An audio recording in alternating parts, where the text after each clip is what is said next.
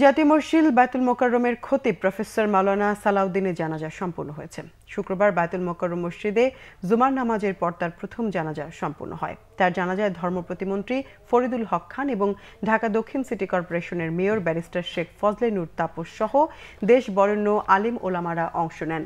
খতিব মাওলানা সালাউদ্দিন দীর্ঘদিন ধরে অসুস্থ ছিলেন। মৃত্যুকালে তিনি স্ত্রী, এক ছেলে ও তিন কন্যা অসংখ্য ভক্ত অনুরাগী রেখে গেছেন। দু হাজার নয় সালের দুই জানুয়ারি মাওলানা সালাউদ্দিনকে বাতুল মোকারম জাতীয় মসজিদের খতিব হিসেবে নিয়োগ দেয় ধর্ম মন্ত্রণালয়। এর আগে তিনি মহাখালীর গাউসুল আজম মসজিদের খতিবের দায়িত্ব পালন করেছেন।